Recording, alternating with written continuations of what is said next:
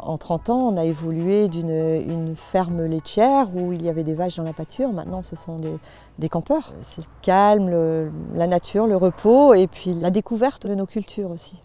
J'ai voulu créer autre chose, un camping et de la vente directe sur la ferme. Je voulais vendre mes produits moi-même. Je trouvais que ça allait bien avec le camping, que les gens peuvent venir avec leur tente, leur camping-car, leur caravane.